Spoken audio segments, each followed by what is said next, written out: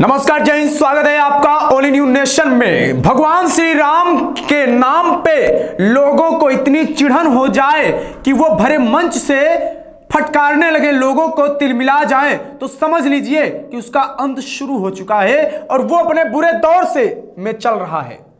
एक वीडियो आज हम आपको दिखाएँगे। पहले आप वीडियो देखिए, ममता बनर्जी का वो वीडियो। उसके बाद आज हम इस वीडियो में दिखाने वाले हैं कि जय श्री राम पे पश्चिम बंगाल में महाभारत। शुरू हो गया है। पहले ट्वीट देखिए अरुण गोहिल का। अरुण गोहिल जो कि कभी भगवान राम के रोल में, रामायण में आप उनको देखा करते थे।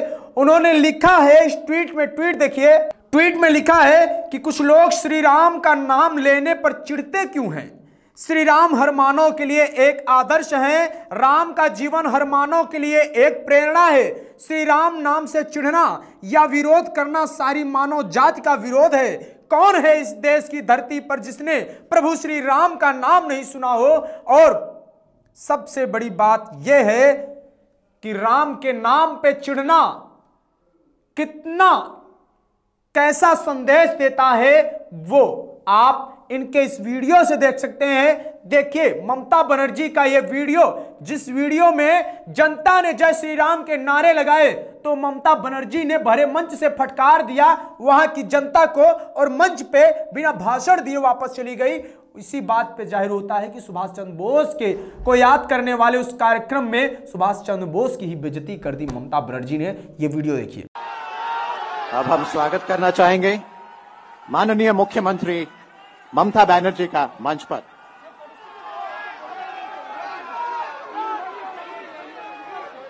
आप आप लोग जरा सा शांत हो जाएँ। आप लोग जरा शांत हो जाएँ और इस पावन अवसर पर श्रीमती ममता बनर्जी को मौका दीजिए कुछ शब्द कहने का। नहीं नहीं, मेरे को तो लगता है कि गवर्नमेंट का प्रोग्राम का कोई डिग्निटी होना चाहिए। एक गवर्नमेंट का प्रोग्राम है, कोई पॉलिटिकल पार्टी का प्रोग्राम नहीं है और पॉलिटिकल पार्टी का, और गवर्नमेंट पब्लिक का प्रोग्राम है। मैं तो आभारी हूँ, प्रधानमंत्री जी का कल्चरल मिनिस्ट्री का, कि आप लोगों ने कोलकाता में प्रोग्राम बनाया। लेकिन किसी को आमंत्रण करके, निमंत्रित करके, उसको बेइज्जत करना ये आपको शोभा नहीं देता। मैं फिर आप लोगों को कहेंगे, यही on protest of that I am not telling anything जय हिंद, जय बांग्ला। तो वीडियो आपने देखा। वीडियो में ममता बनर्जी भड़की हुई, तिलमिलाई हुई। ममता बनर्जी का आपने स्वरूप देखा। यह ममता बनर्जी के लिए नया नहीं है। दरअसल ममता बनर्जी कई बार ऐसा कर चुकी हैं। कई बार अपने गाड़ियों से उतर के श्री राम का नारा लगाने वालों को दौड़ाती हैं, डांटती हैं। तो मुझे लगता है कमेंट बॉक्स में पहले तो आप सारे लोग जय श्री राम लिख दीजिए, क्योंकि मुझे जय श्री राम से कोई परहेज नहीं है। मैं इस देश का नागरिक हूँ, मुझे सनातन संस्कृति और परंपरा से पूरा का पूरा प्रेम है, और एक पत्रकार होने के से पहले, एक मानव होने के नाते, और इस देश का एक नागरिक होने के नाते मुझे जय श्री राम से कोई समस्या नहीं है। गौरव भाटिया, बीजेपी के प्रवक्ता हैं, उन्होंने ट्वीट किया है, ममता दीदी, जय श्री राम, इसके लिए चमड़ी उधेड़ती हो तो उधेड़ लो। ट्वीट देखिए। ट्विटर पे लिखते हैं कि जय श्री राम ममता दीदी, इसके लिए चमड़ी उधेड़ती हो तो उधेड़ लो।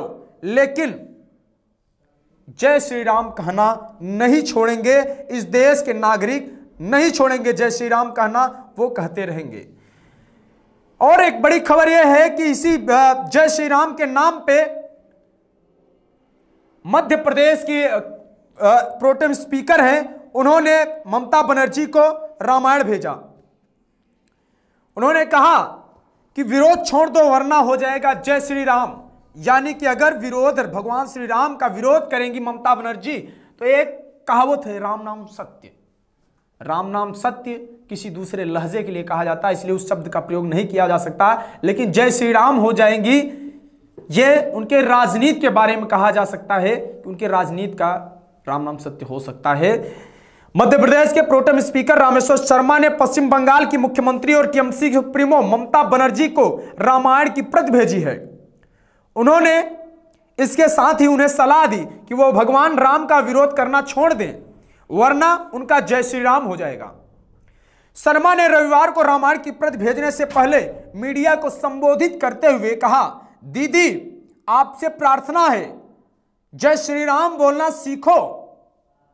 राम का विरोध करना बंद करो।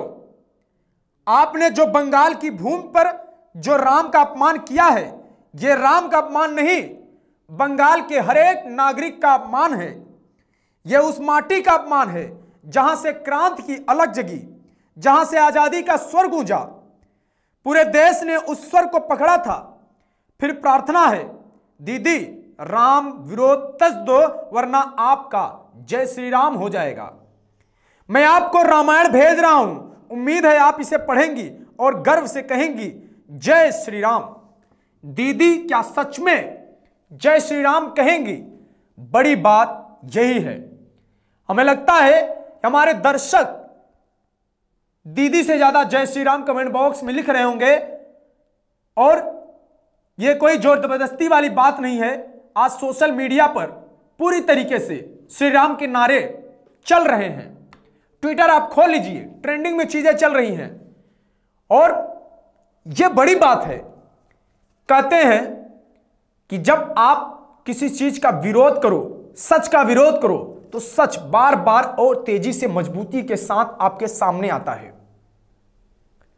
जय श्री राम का विरोध करना ममता बनर्जी के लिए इतना भारी पड़ गया कि उनकी ही पार्टी के पचासों विधायक उनके खिलाफ है।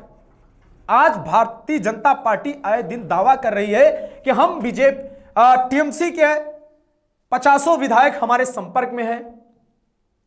लगभग एक दर्जन विधायक भारतीय जनता पार्टी ज्वाइन कर चुके हैं। यह चीज़ें कहीं ना कहीं दिखा रही हैं कि टीएमसी अपनी सत्ता गंवा रही है, लेकिन उससे बड़ी बात यह है कि ममता बनर्जी क्या अपनी राजनीतिक महत्वाकांक्षा और तिलमिलाहट के चक्कर में वो सब भूल गई हैं। जो एक आम नागरिक होने के नाते उनको समझना चाहिए, जो एक हिंदू होने के नाते समझना चाहिए, कोई ज़ोर ज़बरदस्ती नहीं है। मत बोलो, ममता, दीदी मत बोलो आप जय श्री राम। लेकिन जय श्री राम बोलने वालों को तो मत पीटो, जय श्री राम बोलने वालों को तो मत मारो, उनकी हत्याएँ मत करवाओ। पश्चिम बंगाल में जिस तरीके से कानून तोड़ा जाता है लॉ एंड ऑर्डर जिस तरीके से ध्वस्त है, सबको पता है। सबको पता है यह चीज़। अमित शाह ने भरे मंच से गिनाया दर्जनों कार्यकर्ताओं का नाम जिनकी हत्या कर दी गई, और वजह सिर्फ़, और सिर्फ़ जय श्री राम। क्या राम का नाम लेना इस देश में इतना गुना है? ममता बनर्जी पश्चिम बंगाल में बैठकर बोलती है कि भारत की एक और राजधानी होनी चाहिए, वो पश्चिम बंगाल। आप पश्चिम बंगाल को भारत की राजधानी बनाना चाहती हो? ये किस जनरल नॉलेज से बात कर रही हैं? पूरे विश्व में, हर देश में एक ही राजधानी होती है। ये चाहती है कि भारत के दो चार राजधानी हो जाए।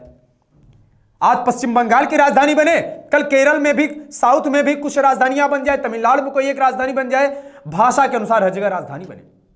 ये पश्चिम बंगाल के भाषा को, पश्चिम बंगाल को हर चीज़ को एक राष्ट्र के तौर पे अलग दर्जा देना चाहती हैं और ये कश्मीर के तर्ज पे जैसे महबूबा मुफ्ती, फारूक अब्दुल्ला, उमर अब्दुल्ला कश्मीर की आज़ादी की बात करते हैं, वैसे ममता बनर्जी पश्चिम बंगाल को आज़ाद कराने की बात करती हैं। पश्चिम बंगाल की संस्कृति, जिस संस्कृति ने इस देश को आज़ादी दिलाया, जिस संस्कृति की वजह से इस देश में अंग्रेज़ों से लड़ाइयाँ लड़ी गई, पश्चिम बंगाल की कल्चर पश्चिम बंगाल का साहित्य, गुरु रविन्द्रनाथ टैगोर का साहित्य। गुरु रविन्द्रनाथ टैगोर के दर्शन, श्यामा प्रसाद मुखर्जी की राजनीति और उनका योगदान, ये पश्चिम बंगाल के आम नागरिकों को भूलना नहीं चाहिए और ममता बनर्जी को भी नहीं भूलना चाहिए कि पश्चिम बंगाल अपने बदलाव के दौर में है और यह पश्चिम बंगाल टीएमसी को वहीं से उखाड़ फेंकेगा, जिस जगह से टीएमसी की उत्पत्ति हुई थी, वहीं पे समाप्त हो जाएगी टीएमसी। कांग्रेस मुक्त भारत की बात पूरे देश में हो रही थी और कांग्रेस ने देखा भी। अब शायद टीएमसी भी यही देखेगी। मैं किसी पार्टी का पक्षधर नहीं हूँ, लेकिन जब बात आए राष्ट्र की और राष्ट्रीय संस्कृति की और राष्ट्र के सनातन की तो मैं बोलूँगा, और इसीलिए ओनली बोल रहा है। मध्य प्रदेश बीजेपी नेता रामेश्वर शर्मा, ममता बनर्जी को रामायण भेजा है। यह देखिए ट्वीट देखिए न्यूज़ ट्वेंटी का, और ये वीडियो देखिए। दीदी, आपसे प्रार्थना है, जय श्री राम बोलना सीखो, राम का विरोध करना बंद करो और आपने जो पश्चिम बंगाल कल बंगाल की भूमि पर जो आपने राम का अपमान किया है, ये राम का अपमान नहीं, ये बंगला, बंगाल के हर नागरिक का अपमान है। ये उस माटी का अपमान है जहाँ से क्रांति का अलग जगह था, जहाँ से आज़ादी का सुर गूंजा था और पूरे देश ने उस सुर को पकड़ा था। दीदी, फिर प्रार्थना है, राम का विरोध तज दो, वरना अब आपका जय श्री राम। हो जाएगा। मैं आपको रामायण भेज रहा हूँ। उम्मीद करता हूँ कि आप इस रामचरितमानस को पढ़ेंगी और फिर फक्र के और गर्व के साथ कहेंगी, जय श्री राम। जुड़े रहिए न्यू नेशन के साथ। कमेंट बॉक्स में अपनी राय ज़रूर दीजिए। वीडियो को ज़्यादा से ज़्यादा शेयर करें, लाइक करें। बहुत बहुत धन्यवाद।